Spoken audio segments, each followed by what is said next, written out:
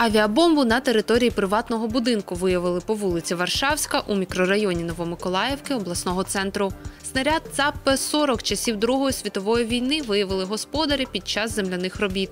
Цього ж дня сапери знешкодили ще два боєприпаси поблизу Помічнянської громади.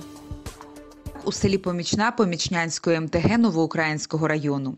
На території приватного домоволодіння господарі виявили артилерійський снаряд калібру 45 мм. Поблизу траси Помічна Кропивницький виявлено артснаряд калібру 76 мм.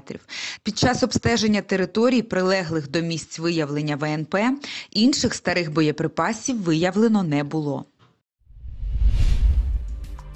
Змінили схему руху на перехресті вулиць Кропивницького та Шевченка в обласному центрі. Відтепер головною стала вулиця Кропивницького. Крім цього, запрацювали світлофори. Також встановили нові дорожні знаки і тротуарне огородження.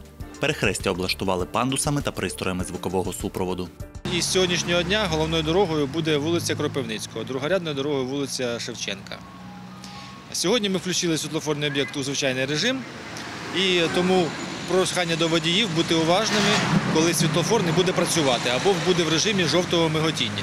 Тому що е, в цей час проїжджати перехрестя необхідно керуючись дорожніми знаками. Загальношкільною хвилиною пам'яті та покладанням квітів до меморіальної дошки згадали в Олександрійському колегіумі загиблого героя. Випускник закладу Олександр Козенко сім років тому загинув у війні на сході.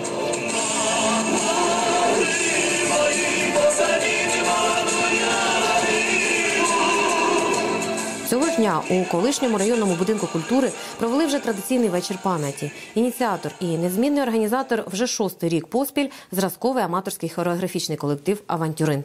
Він був і є частиною колективу. Він надихає, він, він і, зараз поряд з нами. В танзалі, звичайно, коли ми тут займалися, цей рік нас перевели в інший. Там висіли його портрети. Він постійно саме головне, що діти його пам'ятають старші. Сьогодні танцювала група, яка при ньому була, вона була сама найменша, називалась група Козявочки. Але ви бачите, наскільки він от дав, да? Е, неприказним, то просто, просто він робив, просто він приходив. Олександр Козенко був солістом авантюрину і співавтором танцювальних номерів. Готувався вступати до педагогічного університету. Це останні кадри з виступу Олександра. сам спускається, і час немов завмер. Ніч вона купається у озер. Кожен його танець сповнений майстерністю і пронизаний патріотизмом. Бо він справжній козак, вихованець, а згодом інструктор Олександрійської школи Спас. Любив грати на сопілці, опановував інструмент самостійно, а ще писав вірші. Та найбільше любив Україну і маму. Я вдячна моєму колективу. Здається, тільки вчора ми збирали для передачі. Я вдячна вчителям, я вдячна моїм діткам, я вдячна авантюрничкам. Навіть слово вдячна це не те слово. Я тільки заради вас і заради вашої допомоги можу пережити це, цей біль. У травні 2014-го Саша пішов служити добровольцем. Був зарахований до складу 11-го батальйону тероборони Київська Русь і вже у липні виконував бойові завдання у зоні АТО. Саша приїхав в батальйон добровольцем, і це його е, в кращу сторону відрізняло від багатьох е, пересічних мобілізованих в плані того, що у нього е, була мотивація, у нього була здатність учитися, просто людина, е, як це сказати, на- надзвичайних здібностей. І в першу чергу вірний син України. На вечорі пам'яті переглянули відеономери Олександра і зворушливі виступи нинішнього складу колективу. На лінії вогню я віддав тобі. Вкотре на захід приїздить козак-побратим загиблого героя Святогір. Щоб шаблі не брали, щоб кулі минали голі мости наші. Спортивний, талановитий, а ще майстерний і відповідальний. Саме таким був Саша. Він не поїхав у відпустку напередодні трагічного дня, поступившись чергою сімейним хлопцям. 14 вересня 2014 року не віщувало біди, адже щойно були підписані перші мінські домовленості і оголошено перемір'я. На жаль, лише з нашого боку. Блокпост у Чорнухиному, Деніс Варто Олександрієць обстріляли. На честь Олександра назвали вулицю у місті, а за ініціативи мами започаткували сквер героїв АТО. Тому що сильний духом він був. Дай Боже, щоб кожному воїну, ті, що там зараз, такого духу. То москаля, мабуть, за, за Уральськими горами шукав. Євгенія Ніколаєва, Олександр Стрижак, телевізійні новини СІБІН. Першу в області антикризову кімнату створили в Олександрійському райвідділі поліції. Її призначення мінімізувати травмування психіки дітей під час проведення дій процесуального характеру. Складається вона з двох приміщень. В одному перебуває дитина, чиї свідчення важливі у процесі дізнання, у суміжному поліцейські, слідчі чи інші фахівці. З неповнолітнім працює психолог і ставить питання, отримані від правоохоронців через повідомлення. Проєкт реалізували впродовж трьох тижнів за підтримки органів місцевого самоврядування та головного управління Нацполіції в області. Найближчим часом безпекова кімната з'явиться і в Кропивницькому.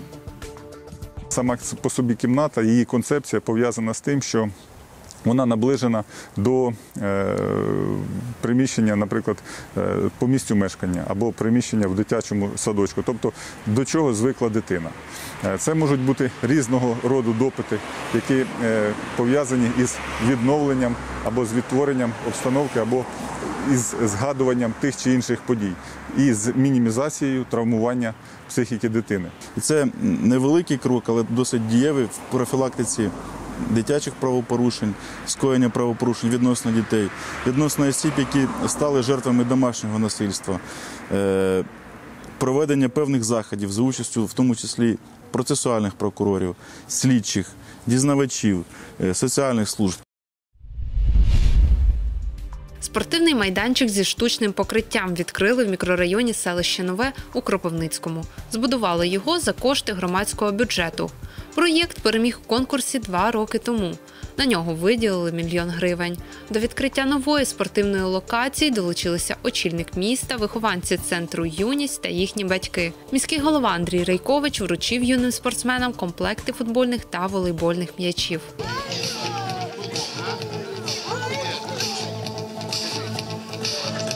Це все робиться для того, щоб громаді було зручно, щоб е, були місця, де е, якісно, ефективно і надзвичайно цікаво е, проводить своє дозвілля молодь і не лише молодь.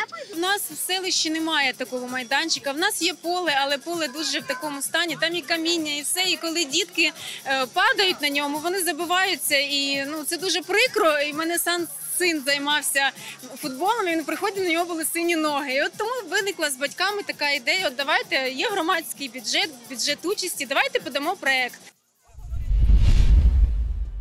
Донька видатного педагога Василя Сухомлинського Ольга Сухомлинська завітала на Кіровоградщину. Вона взяла участь у круглому столі, що відбувся в обласній науковій бібліотеці імені Дмитра Чижевського. Тут зібралися зо три десятки освітян. У закладі реалізували проєкт Василь Сухомлинський актуальний, модерновий, справжній. Педагоги й науковці обговорили становлення засновника гуманістичної педагогіки, його підходи до навчання і виховання зростаючого покоління. Це такий проект унікальний. Його всі е, ми знаємо, або Сухомлинський в костюмі, в галстуці на трибуні, або навіть з дітьми. От, е, але ж він був і маленьким хлопчиком, і бігав бос, босий там понад річкою і понад ставом.